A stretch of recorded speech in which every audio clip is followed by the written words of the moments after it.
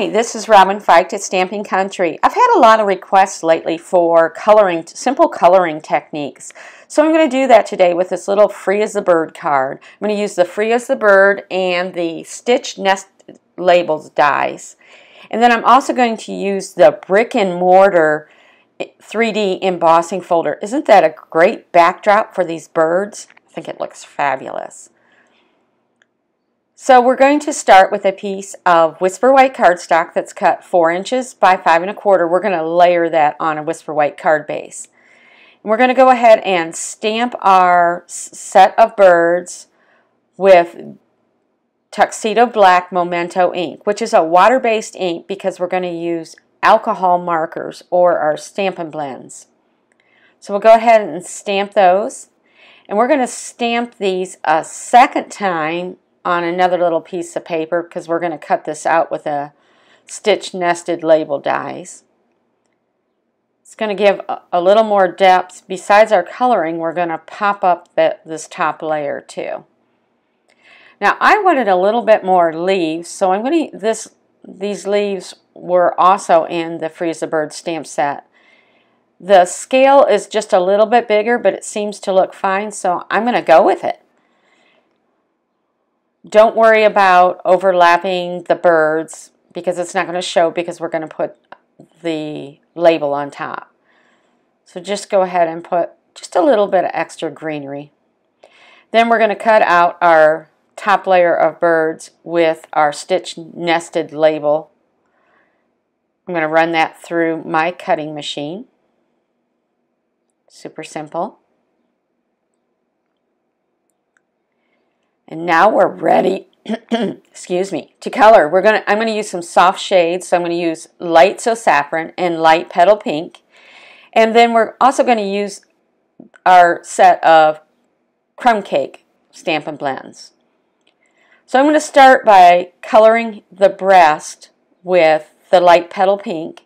Notice how I left a little bit of white and then I'll go around it with the light So Saffron and I'm just blending those two colors together. And then I'm going to go in anywhere where it's not his breast or I, I did a little bit of the head in the yellow too um, with the crumb cake. And then we'll use the finer tip on the crumb cake Stampin' Blend to highlight where some of those lines are for his feathers. We'll do the same thing again. Again, notice I left a little bit of white. And then we'll go around with the yellow or the So Saffron. And then we'll do the crumb cake I'm not overthinking this. I'm just sort of blending and having fun. I find coloring very relaxing. We'll do the little bit of highlights again. And we'll cut, oops, I just did the breast with the, the So Saffron. Well, we'll just go around it with Petal Pink and see what happens. What do you think? Can you tell a big difference? I think I'm not going to stress about it and leave that bird just a little bit different. I think he looks just fine. He's unique from his brothers and sisters. And then we'll color the fourth bird with the So Saffron on the breast. And we'll blend in a little bit of petal pink. Or, yeah, I did petal pink and then So Saffron. And then the crumb cake. And then we'll highlight with some darker. Not too bad. I wished I would have left just a little bit more white space, so I'm going in with the color lifter and sort of blending that, a couple of those out. We'll do his beaks with pumpkin pie. Super easy. Oh, let's get that little tail just in case it shows. Now let's go for these leaves. I'm going to use my combo set of Old Olive Stampin' Blends and we'll just start coloring those in quickly. And then I'll go back with the darker and just hit some highlights. Don't overthink this. You just want to give a little depth. By using two tones of the Old Olive, you can see that it gives it a little more depth and makes it pop a little bit. You can see about what we need to color on the scene behind. I tend to overcolor the scene behind because I like coloring, but that's okay. You can be more precise if you want. It doesn't really matter. If you're having fun, just go for it. So I'm going to do the same thing with the leaves. We're going to color with the light old olive.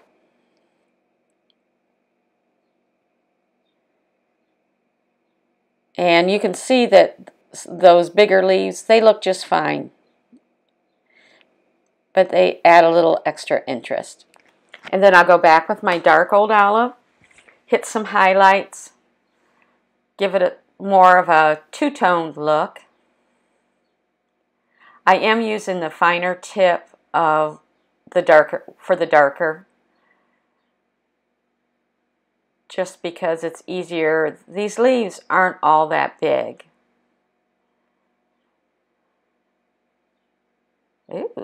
It's looking pretty good. Now I'm going to use another light color. This is called Purple Posy. It's a new um, in color. I'm using the lighter first. The, this color sort of reminds me of some clematis I have blooming in my garden right now. I'll show a picture of the clematis on my blog. So I colored them all light and then I'm going to go back and just give a little highlight with the dark purple posy. Just make them pop a little bit and I'm not overthinking it, trying to just shade where I think there will be shadows and where I need the depth. And then we'll do the branch. I'm going to use a smoky slate just because I, I thought about using the crumb cake, but I wanted the branch to look a little different than the birds. And then I'll go back and just highlight some of those lines with the darker smoky slate. Looks fabulous. Hope you enjoyed this tutorial. If you did, be sure to subscribe and hop on over to my Stampin' Country blog for more details about this card. Have a fabulous day.